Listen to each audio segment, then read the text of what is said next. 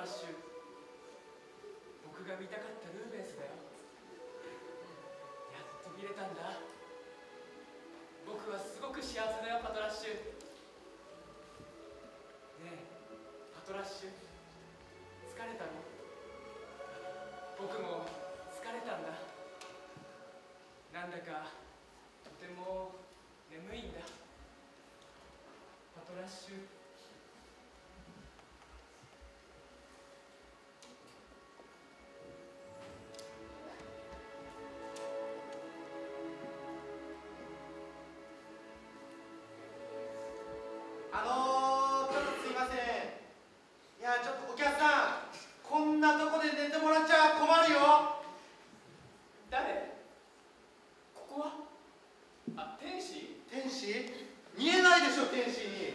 白いけどさ僕生きてるの？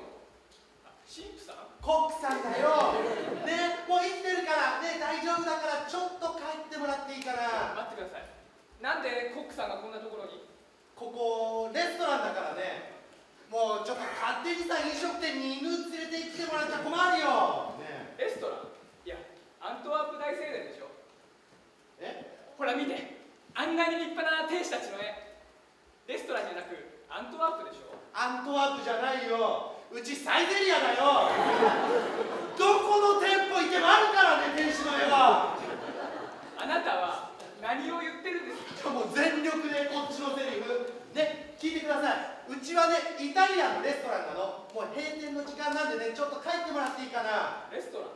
いやそうだよレストランだよ。じゃあディアボラ風ハンバーグ。閉店ですよ閉店だって言ってたからメニューはないよ。もう帰ってもらっていいから。ラッシュちょ犬急にけしかけんのやめて危ないからさ。あの今日は街で開かれている絵画コンクールの日だったんです。アロワのお父さんに認めてもらうためにも僕は何としてでもコンクールで優勝したかったんです。いやその話なでも結果は落選でしたアロワのお父さんの亡くした才能も僕のせいだって疑われて失意の中最後にどうしてもルーベンスが一目見たくて激しい吹雪の中ようやくここにたどり着いたんです。うんなのですいません。エビと野菜のトマトクリームリゾットをくださ閉い店ですって。うちのメニューよく知ってんな。閉店とかそんなの関係ありません。なぜなら僕は客じゃないから1円も持ってないから。じゃあなおさら帰ってくれって言ってんだからパトラッシ犬怖いよそれ勢い怖いもんュ待たれよしばし待たれよなんだそれなんでお前急に侍になってんだよな何もただでとは言いませんこれでも僕は画家の卵です絵を1枚描きますからいやいやねそういう問題じゃないからさ。えー、本当に。気に入らなかったらすぐ描きます。いやじゃあこっちもね暇オリジナルののオリジナルの絵描き歌があるんです。いやなおさら意味ないから、えー興味ないからちょいやもう閉店作業とかあるから。閉店なら暇でしょ。閉店なら暇でしょ。暇じゃない。作業いっぱいあるんだって。バイトの子が待ってんだ大よ人の事情は知らない大人の事情を知らないなんで2回言うんだよさっきから全部2回言ってんじゃん子供の言うことを聞いてほしい欲しいじゃあもう帰ったら帰ってんの気になかったらすぐ帰りますえ気になかったら帰ってくれるのね。はい分かった分かった、うん、じゃあ帰ってもらっていいかな。うん。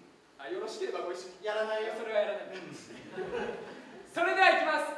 ネロの絵描き歌お豆が一つありました。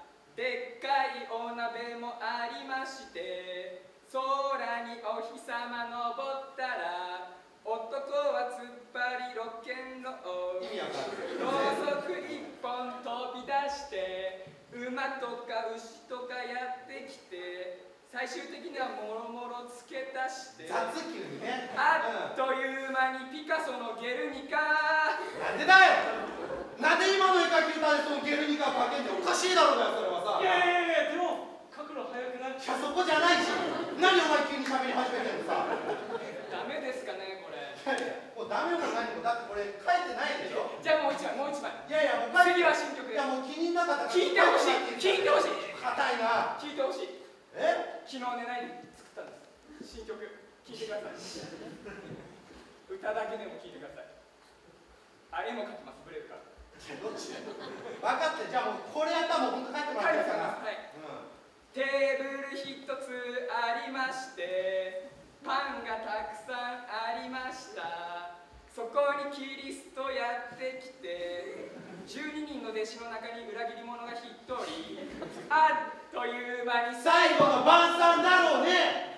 だからどうやったらその絵が描けんだって今の絵描き歌でおかしいだろうがいやいよやでも色塗るの早くないうるさいお前ら黙って。伝わりませんか？この絵の素晴らしさもうね絵自体はねすごい素晴らしいのは分かるんだけれどもねまずおい。話聞け僕はねおじいさんと2人でずっと貧しい生活をしてきたんですそんな中でもおじいさんは僕の画家になるっていう夢を応援してくれてうちには全然お金なんてないのおじいさんはやっとの思いでこの鉛筆を僕に買ってくれたんです。そうなの？だからだから僕はこの鉛筆でお前を殺す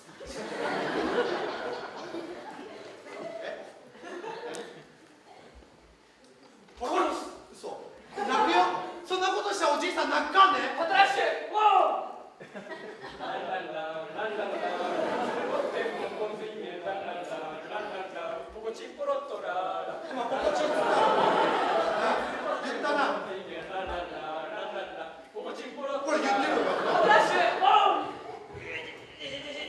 だから今危ないからやめてくれって怖いんだよそれが待たれよしばしばいやいやもう待てないですよ閉店なんて書いてもらっていいですかねいい加減さね二人じゃかなわないフォーメーション B でいくよわおじいさんおメロあー来た超怖え後ろみんな何わ生きてるしじいさん。おじいさんフォーメーション B だよ。勝てんじゃねえろやばいじいさんだよなあランランランランランランふんずるわ。ってんばんばんそれさっき聞いたからねランランランポコチンポロッとラーラでしょ聞いたんだよ閉店だから帰ってくださいってねポコチンポロッとやめてください。ランランランちょちょっと早くなんでやめてそれ。怖いから。怖い怖い怖い。じいさんが怖いんだ